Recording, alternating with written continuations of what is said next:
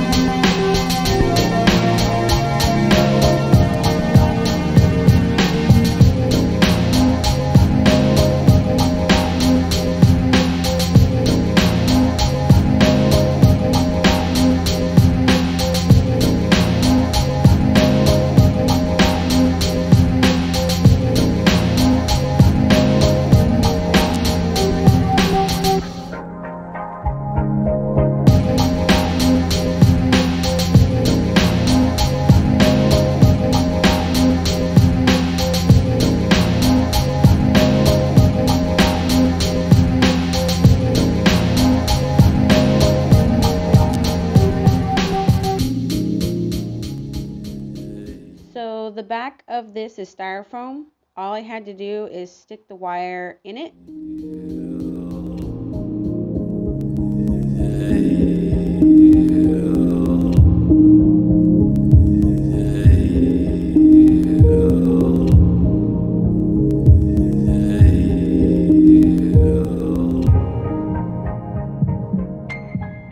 So just like the first part, I'm going to stick the wire on the end into the foam backing as well.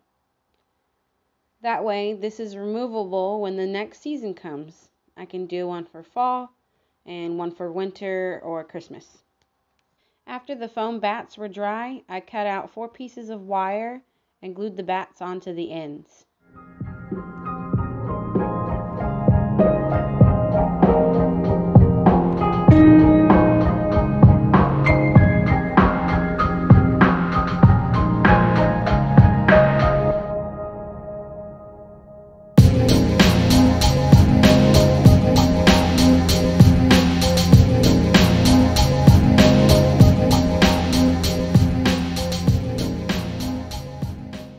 Just sticking them into the foam backing just like the fabric.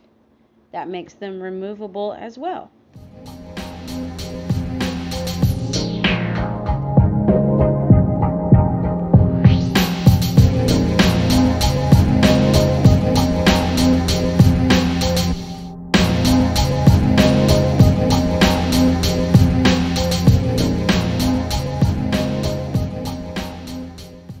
Lights were unused from last year and I have my own batteries. So this project is pretty much free with just stuff I had lying around the house.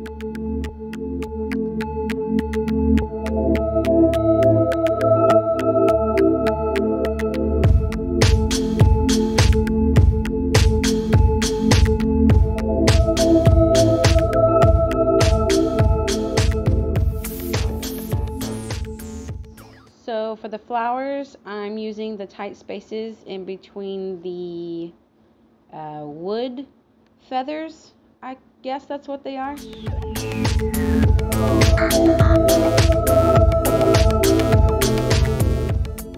I don't have the proper hook for my front door yet, but this is what it looks like.